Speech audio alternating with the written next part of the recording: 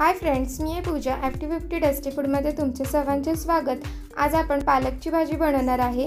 पालेभाज्या ह्या खूप हेल्दी असतात आणि ह्या पालेभाज्या आपण खाल्ल्या पाहिजे आणि स्वतःला हेल्दी ठेवलं पाहिजे. म्हणूनच आज आपण पालकची भाजी सोप्या पद्धतीने कशी बनवावी ही रेसिपी पाहणार आहे.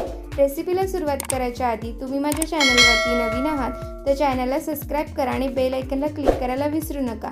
चला तर मग आता आपण रेसिपीला सुरुवात करूया. इथे मी आता एक जुडी पालक घेतला आहे. तो साफ करून धुवून पाण्यामध्ये ठेवला आहे. पालक विकत घेताना आपल्याला छोट्या पानाचा पालक विकत घ्यायचा आहे. कारण छोट्या पानाचा पालक हा कवळा असतो आणि त्याची भाजी खूप चविष्ट लागते. आता आपण भाजी चिरून घेऊया. तर मी जशा प्रकारे विळीवरती पालक भाजी चिरते आहे तशा प्रकारेच तुम्ही कोणत्या पण पालेभाज्या चिरून घेऊ शकतात विळीवर. पालेभाज्या या वेळीवरती कशा प्रकारे चिरल्या जातात हे आपण आता बघूया.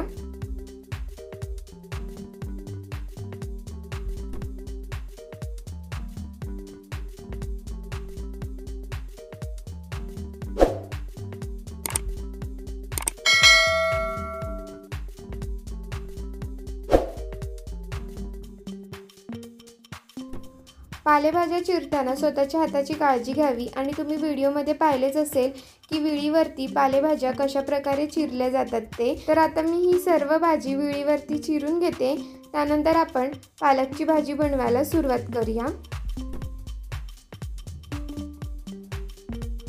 आता हा पालक चिरून झाला आहे आणि पालक चिरायच्या अगोदर मी चण्याची डाळ भिजत टाकलेली. ही डाळ भिजत टाकून पंधरा मिनटं झाली आहे.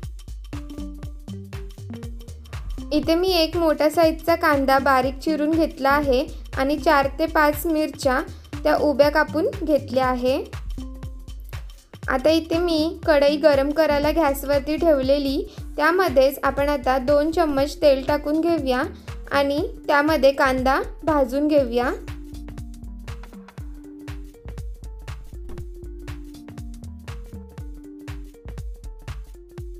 आता आपण यामध्ये हिरव्या मिरच्या टाकून घेऊया. तिखटचं प्रमाण तुम्ही तुमच्या आवडीनुसार कमी जास्त करू शकतात. आता आपल्याला कांद्याला थोडा कलर येईपर्यंत हा चांगला भाजून घ्यायचा आहे. जास्त करपवायचा नाही कारण पालेभाजीमध्ये जास्त करपलेला कांदा चांगला लागत नाही. तर तुम्ही बघू शकतात आता थोडासा गुलाबी कलर कांद्याला आला आहे आता आपण यामध्ये बारीक चिरलेला पालक टाकून घेऊया. आणि गॅसची फ्लेम ही लो ठेवून द्यायची. आता आपण यामध्ये ही भिजलेली चण्याची डाळ टाकून घेऊया. आता आपण यामध्ये चवीनुसार मीठ टाकून हे मिक्स करून घेऊया. आपल्याला ही भाजी गॅसची फ्लेम स्लो करूनच शिजवून घ्यायची आहे.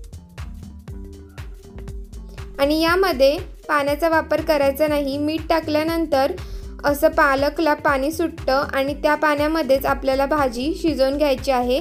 कोणत्याही पालेभाजीमध्ये पाण्याचा वापर करायचाच नसतो. पालेभाज्या या वाफेवरती शिजवल्या जातात. तर तुम्ही बघू शकतात मी गॅसची फ्लेम ही स्लो ठेवली आहे. आता आपण ह्या भाजीवरती झाकण ठेवून शिजवून घेऊया. भाजी शिजण्यासाठी दहा ते पंधरा मिनटं लागतील. आपल्याला पाच पाच मिनिटांनी झाकण खोलून भाजी ढवळून घ्यायची आहे.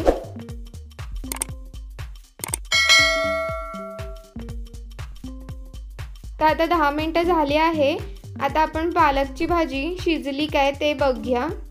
पाल्याभाज्या शिजायला जास्त टाईम लागत नाही. पण तुम्ही पाहू शकतात की ह्याच्यामध्ये थोडंसं पाणी आहे. तर आपल्याला अशी भाजी परतवून घ्यायची आहे. आता आपण डाळ शिजली आहे काय ते बघूया. तर बोटाने तिला दाबून तुम्ही पाहू शकतात की डाळ शिजली आहे की नाही. तर आपली ही भाजी तयार आहे. आता आपण हिला थोडंसं परतवून घेऊया म्हणजे त्याच्यामधलं पाणीसुद्धा आटेल. तर तुम्ही आता पाहू शकतात भाजीमधलं पाणी आटलं आहे आणि आपली पालकची भाजी तयार झाली आहे. तर आपण आता यावरती किसलेला खोबरा टाकून घेऊया. या किसलेल्या ओल्या नारळामुळेच भाजीला खूप चांगली चव येते. तर तुम्ही पण अशा प्रकारे भाजी तयार करून बघा तुम्हाला ही भाजी खूप आवडेल. आता आपण गॅस ऑफ करून घेऊया आणि प्लेट तयार करून घेऊया. ही भाजी गरम गरम भाकरीसोबत चपातीसोबत खाताना खूप छान लागते खूप चविष्ट लागते. तर ही रेसिपी तुम्ही पण तुमच्या घरी नक्की ट्राय करा आणि कमेंट सेक्शनमध्ये कळवायला विसरू नका की आजच्या रेसिपीचा व्हिडिओ तुम्हाला कसा वाटला ते. आणि आजच्या रेसिपीचा व्हिडिओ तुम्हाला आवडला असेल तर व्हिडिओला लाईक करा फ्रेंड्स अँड फॅमिलीमध्ये शेअर करा. तुम्ही माझ्या चॅनलवरती नवीन आहात तर चॅनलला सबस्क्राईब करा आणि बेल आयकनला क्लिक करायला विसरू नका. अशात नवनवीन सोप्या रेसिपी पाहण्यासाठी.